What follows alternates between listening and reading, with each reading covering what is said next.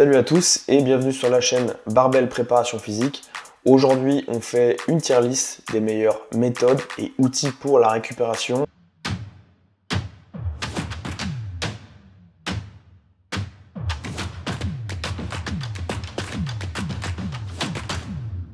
Je vais vous donner mon avis un petit peu sur Qu'est-ce qu'il en est dans la littérature scientifique actuellement sur cet outil-là? Qu'est-ce que moi j'ai pu avoir comme expérience personnelle avec, que ce soit sur moi-même ou sur les joueurs euh, que j'ai pu coacher? On va commencer tout de suite, rentrer dans le vif du sujet avec la partie un petit peu ennuyante, celle que tout le monde connaît, qu'on vous a déjà tous répété et que vous maîtrisez au moins sur la partie théorique, c'est-à-dire le sommeil, on peut le mettre en estière avec l'alimentation et l'hydratation. Ça, j'ai pas besoin de faire une vidéo de euh, deux heures pour vous parler des bienfaits de tout ça. Euh, ce serait clairement ennuyant et euh, déjà fait. Enfin, je pense qu'à l'heure actuelle, tout le monde sait qu'il faut dormir 7-8 heures par nuit au moins si on est un athlète et qu'on s'entraîne régulièrement. Manger des aliments de qualité, avoir une teneur en protéines assez élevée sur la journée et surtout s'hydrater suffisamment. Ça, tout le monde le sait un petit peu, donc pas besoin non plus euh, d'avoir un avis détaillé sur ça. On va passer maintenant aux autres, où peut-être ça fait un peu plus débat et où vous ne savez pas trop où vous positionner par rapport à cet outil ou cette méthode. On commence en premier lieu avec le cupping. Donc le cupping, c'est l'utilisation de ventouses en fait, qu'on va venir placer en endroit euh, pour différentes raisons. Souvent, c'est parce qu'on a des douleurs, on a des sentiments de, de rigidité, de stiffness, d'avoir un point douloureux et on peut utiliser le cupping pour essayer de relâcher un petit peu cette douleur. Il y a différentes théories sur comment ça marche, c'est pas encore très très clair la façon dont en fait cet outil-là fonctionne ou pourrait donner des effets positifs. Dans les littératures scientifiques, c'est pas encore ultra clair, il n'y a pas énormément de, données euh, qui permettent de clairement dire ok ça c'est un outil très efficace qu'on peut utiliser de telle façon et surtout en fait ce qui manque c'est des protocoles clairs. Il y a différentes façons en fait, en fait il n'y a pas de comment de protocole qui nous dit c'est mieux de faire euh, plutôt 5-10 minutes sur tel endroit, euh, plutôt 10-20 minutes. on n'est pas sûr à 100% de ces trucs là donc euh, là-dessus, c'est encore un petit peu tôt pour euh, se prononcer sur une efficacité véritable. Cependant, moi j'ai pu l'utiliser personnellement euh, sur moi-même. C'est assez bien, je trouve, que ça permet assez efficacement relâcher certaines tensions qu'on peut avoir. Ça peut être l'effet placebo, même si l'effet placebo c'est un outil qui peut être utile. et j'ai des joueurs qui l'utilisent assez régulièrement aussi quand ils ont des grosses tensions sur le haut du dos, sur le bas du dos, au niveau des lombaires. C'est pas un truc qui coûte très cher, soit vous le faites chez votre kiné, dans votre centre de soins, soit vous achetez en fait un kit de cupping. C'est pas compliqué et ça coûte pas cher, c'est une trentaine, quarantaine d'euros on va dire. Pour ça, comme il n'y a pas d'effet négatif avéré, je le mettrais plutôt dans le B tiers parce que c'est pas cher, ça prend pas trop de temps, c'est facile à faire. Donc euh, même si c'est pas clair et net la plus-value que ça peut avoir, pas trop négatif, on va dire. L'immersion en eau froide ou la euh, cryothérapie, mais on parle plus d'immersion en eau froide euh, pour ce cas-là. Donc c'est se plonger soit une partie du corps, soit le corps entier dans de l'eau euh, à une température basse. On reviendra un petit peu sur les différentes températures après. Et en fait, on y reste pour plusieurs minutes pour avoir différents effets positifs sur notre récupération. Alors, sur quel mécanisme on va jouer? Eh bien on va jouer sur l'effet euh, anti-inflammatoire que ça peut avoir. Ça va baisser un petit peu localement les inflammations qu'on pourrait avoir au niveau articulaire, musculaire. Ça peut être une bonne chose quand on a des inflammations non voulues, ce qui peut être le cas avec le rugby, comme c'est un sport de contact, un sport assez physique. On peut avoir des inflammations à certains endroits euh, qui ne sont pas forcément les inflammations qu'on veut induire par l'entraînement. Faut savoir que la préparation physique, l'entraînement physique en général, va créer des inflammations qui vont entraîner des adaptations. Vouloir limiter ces inflations-là, ça va limiter vos gains par rapport à ces adaptations si vous utilisez l'immersion en eau froide pour ça. Donc mieux vaut gérer ces paramètres d'entraînement euh, de manière intelligente plutôt que de vouloir faire du bain froid tous les 2-3 jours. Cependant, grosse grosse plus-value quand on commence à avoir les jambes lourdes des 2-3 entraînements de la semaine, forcément de rapport avec la préparation physique ou le travail que vous faites à côté en salle. Donc ça peut être intéressant comme outil, le faire le vendredi soir, un ou deux jours avant le match, Euh, ça permet de voilà, baisser un petit peu la perception des courbatures, avoir un petit peu un effet antidouleur, antalgique. Et ça, ça va être un gros plus quand on enchaîne un peu les matchs et ou qu'on a une fin de bloc un peu compliquée au niveau de la récupération. Ça peut être un petit boost court terme. C'est euh, quelque chose dans mon expérience personnelle et euh, que j'ai pu faire avec les joueurs. Nous, faut savoir qu'on a euh, dans notre club des bacs spécialement conçus pour ce type de pratique. Donc on a un système de réfrigération de l'eau, un système qui tourne, qui filtre l'eau. Donc on a le côté assez pratique. Maintenant, si vous n'avez pas accès à ça et que vous devez utiliser une poubelle avec des glaçons et de l'eau, c'est euh, pas le meilleur truc au monde. Mais comme c'est un truc qui ne pas être très très coûteux, en soi l'immersion en eau froide, il faut juste de l'eau froide. Pour les protocoles, euh, souvent c'est entre 10 et 15 degrés ou 11 et 15 degrés.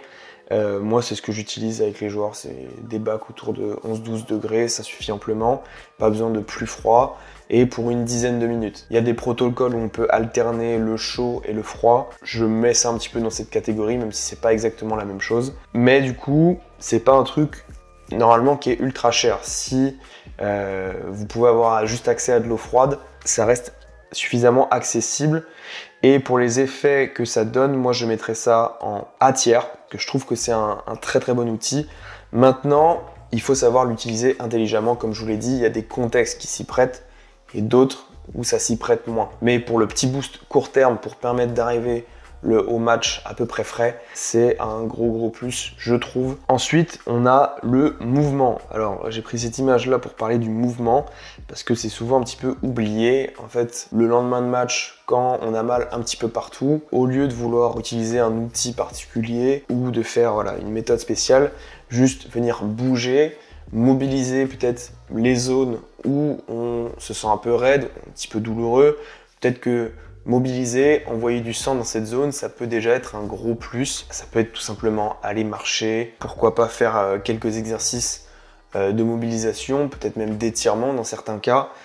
Juste venir bouger, ça va être déjà quelque chose de bénéfique pour la plupart d'entre vous. Maintenant, c'est pas un truc magique, mais c'est accessible à tout le monde et je pense que c'est pas très utilisé euh, pour la plupart d'entre vous. Donc, moi, je mettrais ça euh, comme quelque chose à utiliser et je le placerai en A tiers. Et vous allez voir pourquoi je le mets pas en S tiers euh, par rapport à quelque chose d'autre. Ensuite, on a le foam rolling ou les automassages.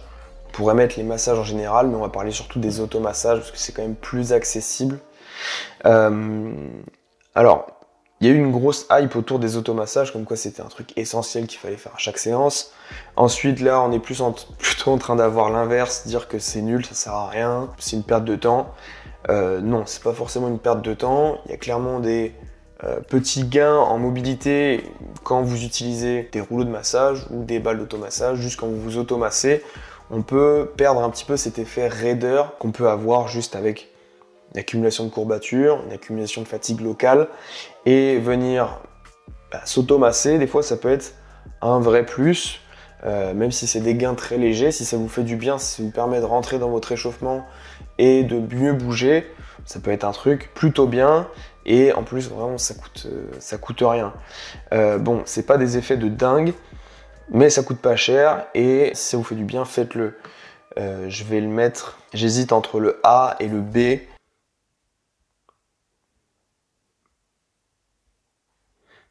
je pense que je vais le mettre en B parce que c'est pas non plus un outil de récupération à proprement parler, plus quelque chose qui aide à passer euh, certaines douleurs. Voilà pour ça. Ensuite, on a la cryothérapie, donc un petit peu différent de l'immersion en eau froide. Ici, c'est un système sec. On va utiliser en fait une espèce de chambre où vous avez des gants, euh, des sous-vêtements et quelque chose pour les pieds, et où on va mettre un air qui est très très froid.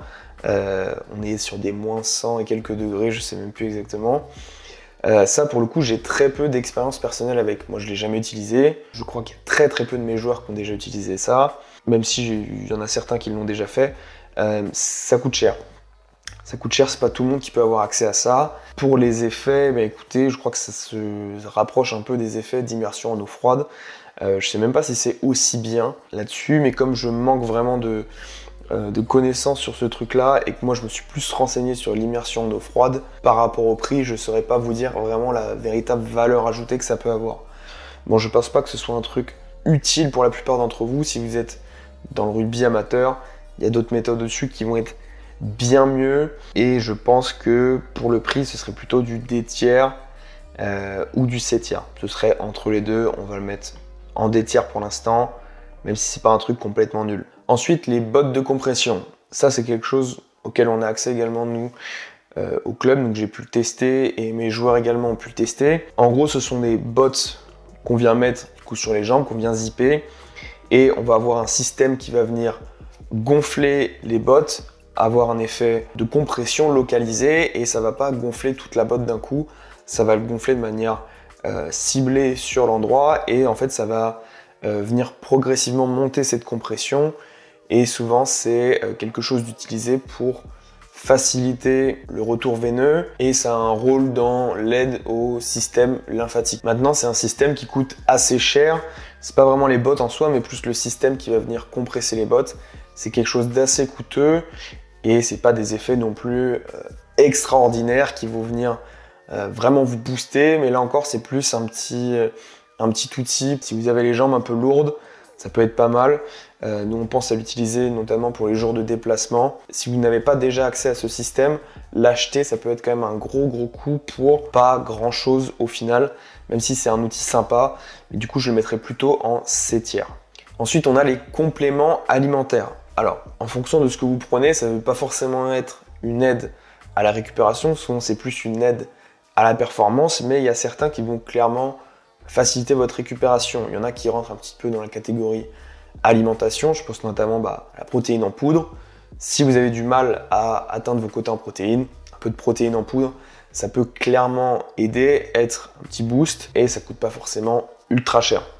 Euh, on a aussi des complémentations en magnésium, ça peut clairement aider pour votre récupération plus sur la partie sommeil, ça facilite euh, l'endormissement. On a des mélanges ZMB, euh, zinc, magnésium, vitamine B6, on a des B complexes. Certains compléments peuvent vraiment aider à réduire un petit peu le stress et vous aider un petit peu à dormir. Donc ces petits boosts là, on peut les prendre. Quelque chose qui va peut-être être coûteux à la fin du mois si on accumule plusieurs sources de compléments, mais ça reste des bons outils pour la plupart. C'est prouvé. Il y a des recherches sur la plupart des compléments euh, que j'ai cités. Après, il faut savoir que ça reste de la complémentation, ça, ça remplace pas l'alimentation bien sûr, et que c'est pas non plus magique, à part si vous avez peut-être des gros problèmes, mais si vous optimisez déjà votre sommeil, hydratation et alimentation, c'est pas non plus une différence de fou, mais ce petit pourcentage-là peut faire la différence sur le long terme. C'est pour ça que je le mettrais plutôt en A tiers. Ensuite, on a les exercices de respiration, les breathwork. Donc, c'est des méthodes en fait de respiration qui vont souvent être utilisées pour activer le système parasympathique et diminuer le stress, faciliter la récupération, passer euh, vraiment sur ce retour au calme. Ça peut être utile après une grosse journée, après euh, un effort, un entraînement par exemple. Pour le coup, bah, ça coûte rien. Euh, ça demande juste peut-être un petit peu d'adhérer à la chose. Il faut être vraiment concentré, croire au process et le faire avec rigueur. C'est pas forcément ultra simple, surtout si vous êtes débutant sur ce type de, méthode, c'est pas un truc hyper facile à faire, mais c'est pas non plus très très compliqué. Il faut juste voilà, s'impliquer un petit peu. Et je pense que ça peut être un vrai plus pour vous aider à vous relaxer euh, plutôt que forcément prendre des compléments alimentaires ou chercher une méthode particulière. Juste avec des méthodes de respiration, on peut faire euh, une grande partie du travail. Je pense qu'on peut le mettre en A tiers. Ensuite, on a les TerraGun. Alors, le TerraGun, même pas si c'est une marque, je crois. Euh, les massage guns, les pistolets de massage pour réaliser donc, des automassages. Donc, ça rentre un petit peu dans la catégorie avec les foam rollers et euh, les balles d'automassage. C'est des, bons outils. Euh, il faut pas acheter, je pense, quelque chose de trop pourri parce qu'il y a des marques vraiment cheap, souvent sur du dropshipping où on peut un peu se faire avoir sur ça pour juste avoir un truc qui, vibre au final. Je pense que ça peut revenir vite cher pour avoir quelque chose d'intéressant, mais ça va être aussi bien que les automassages. Donc de base, je mettrais ça dans la catégorie B tiers. Si ça coûtait pas aussi cher, je pense que ce serait dans la catégorie B tiers. Mais pour le coup, je pense que ce serait plutôt un C tiers et j'aurais tendance à privilégier bah, des foam rollers et euh, des balles de tennis tout simplement euh, pour venir masser certains, certains endroits. Ça a un certain confort d'avoir un pistolet juste qu'on va venir passer, mais euh, pour le prix que ça coûte, je mettrais plutôt ça dans la colonne C tiers. Et enfin, on a la dernière méthode, je pense qu'il devrait être vraiment utilisé pour la plupart d'entre vous, mais c'est pas forcément un truc ultra sexy, ultra intéressant, euh, c'est juste de rien faire. Rien faire de votre journée, ne pas aller euh, au club ou dans le centre de soins pour se faire masser, pour aller dans le bain froid, ne pas faire euh, d'étirements bizarres, juste rester dans votre canapé, ne rien faire sur les jours off et profiter de ces jours off pour vraiment vous relaxer chez vous. ça peut être beaucoup plus utile que de venir se déplacer et d'avoir peut-être un, une charge mentale plus importante qui peut venir en fait euh, altérer un peu ce processus de récupération. Parfois juste vous avez besoin de rester chez vous, rien faire et euh, ça coûte rien pour le coup. Ce qu'il faut retenir de ces méthodes, de ce top là, c'est que chacun va avoir des avantages avec telle ou telle méthode ou tel outil. Il faut prendre en compte les préférences personnelles. Il y a certaines choses qui vont aider à vous relaxer, d'autres pas du tout. Si votre but c'est de récupérer, mieux dormir, vous relaxer, peut-être que l'immersion en eau froide ça va pas trop être pour vous, surtout si vous supportez très mal le froid. Ça peut envoyer un petit peu une dose de stress assez importante les premières fois. Ça peut être très bien d'apprendre à se calmer bah, dans ce genre de situation. Mais euh, si vous n'arrivez pas du tout à vous relaxer quand vous êtes dans le froid, que c'est vraiment une souffrance, ça va peut-être pas être l'outil pour vous. Même chose pour les massages, il y en a certains, ça les détend vraiment de se masser ou de se faire masser. Il n'y en a pas du tout, ça les crispe plus qu'autre chose, ils n'aiment pas ça. Euh, ça va pas être un bon outil. Il faut trouver quelque chose où vraiment vous vous sentez bien après, pas forcément pendant, mais surtout le après qui est important. Le lendemain et dans les jours à suivre, vous sentez une vraie plus-value. Moi j'ai beau vous dire ça c'est validé scientifiquement, ça c'est pas validé scientifiquement. Si vous sentez un effet et que ça vous coûte pas grand chose de le faire, et que l'effet est positif, eh bien vous avez tout intérêt à le faire. Si tu veux booster tes performances sur le terrain, devenir un meilleur joueur de rugby et être accompagné de A à Z sur tout le processus, rejoins le coaching privé Barbel. Je te fais une programmation, une planification en fonction de tes objectifs, de tes performances actuelles, de ton profil, ton poste, ton matériel. Tout est personnalisé de A à Z. Tu as également un suivi alimentaire pour t'aider euh, sur tes objectifs physique et esthétique. Le nombre de places est limité, donc si ça t'intéresse, je t'invite à cliquer dès maintenant sur le lien en description. Vous avez également mon programme pour développer votre puissance en 8 semaines, tout est dans la description. Merci d'avoir regardé la vidéo jusqu'au bout. D'ici là, je te dis à la prochaine.